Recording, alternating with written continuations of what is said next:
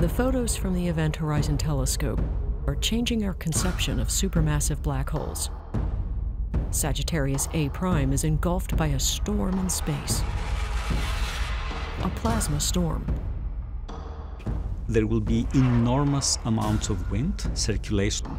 Everything is orbiting around the black hole at very, very high speeds. Like a hurricane hunter, EHT astronomer Dimitrios Psaltis imagines a flight through the turbulence.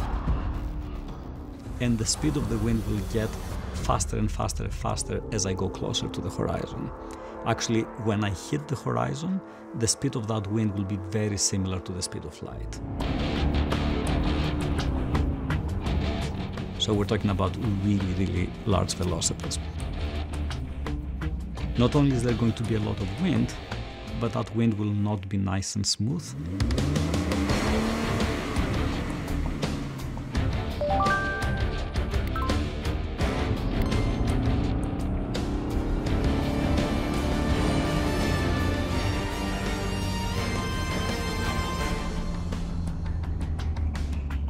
So it will become more and more and more turbulent as I get closer to the black hole. Some distance from the inner edge of the storm, Dimitrios approaches the event horizon. It is not a hard detectable surface, but rather an invisible, unmarked boundary. A black hole has a horizon in the sense that space looks the same as you approach it. And if you get too close, there's no magic warning bell that goes off when you get into it. You would just glide over it, just as you would glide over the horizon on the ocean. There's nothing special that happens, except you're inside. You say, well, that's fun, let's go turn around and get back. Can't do it. You're gone.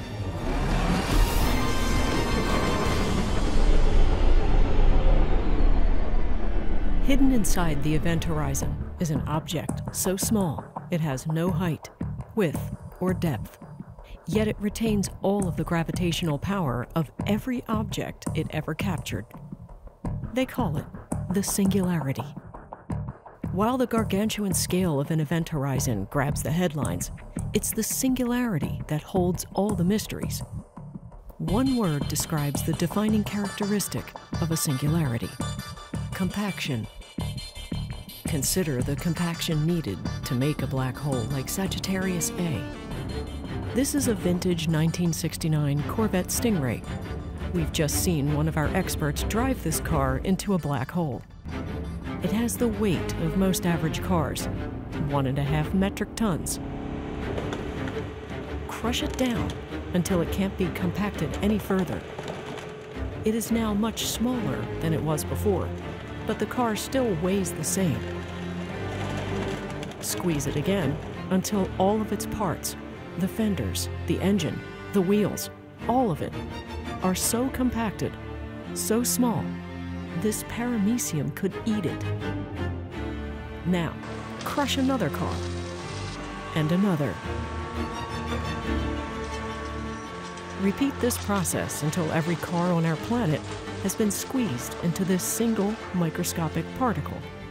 Although it takes up a lot less space, this particle still has the full weight of every automobile in the world, all 1.4 billion of them. That's every Ford, Subaru, Toyota, Tesla, you name it, including every Corvette on the planet, now crushed inside. And we're not finished. What about houses, buildings, and cities? Add them to the particle. Add the mountains and the oceans and the air. Squeeze the whole world into the space of this single particle that began with the Corvette. It now weighs 6 billion trillion metric tons. And still, it's not heavy enough. Cram the moon in there, and Mars too. Squash every planet in the solar system. Still not enough. There's only one thing left time to crush the sun. Finally, it's all there. The entire solar system, including the Earth and the Sun, all inside a microscopic particle. But microscopic is still too big. To become a black hole, this particle must be squeezed further down into the realm of the subatomic, smaller than atoms. In 1899, the German physicist Max Planck proposed a boundary for the smallest size an object can be. This theoretical boundary is called the Planck length. Nothing can be smaller than a Planck length. It's so small, even a single proton in the heart of an atom is about 100 million trillion times larger than one Planck length. Are the singularities inside black holes this small? What happens to matter crushed down to this level is completely unknown. Here, the laws of quantum physics that govern the tiniest, most fundamental building blocks of nature crash into Einstein's general relativity, which addresses the physics of the very large. Black holes are so efficient at keeping their secrets we will never know if the singularity ever shrinks to the Planck length or beyond. General relativity, which is Einstein's brilliant creation, you know, which is a theory from which black holes, you know, were predicted, describes what happens as you go in, but not at the very center. At the very center, you're divide by zero, as it were. You know, you, you can picture like a function that gets steeper and steeper and steeper as you approach zero and then goes to infinity. Well, the formal physics would say it goes to infinity, but that just means we don't know what happens there. Something else has to happen at the smallest radii.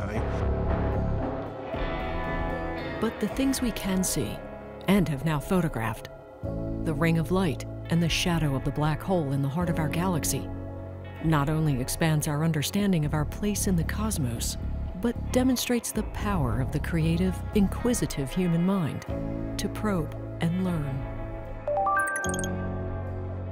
We are explorers and we want to know our place in the universe and we want to know what the earth is and what its past was and um, every other bizarre thing that's happening in the universe around us. So I think whether or not humans realize it. We are born to be scientists, um, and we're born to try to understand the world around us. And I'm lucky enough that I get to do that. For others, it's the thrill of the chase, the seeing, the measuring, and the questions. Always the questions that pull them forward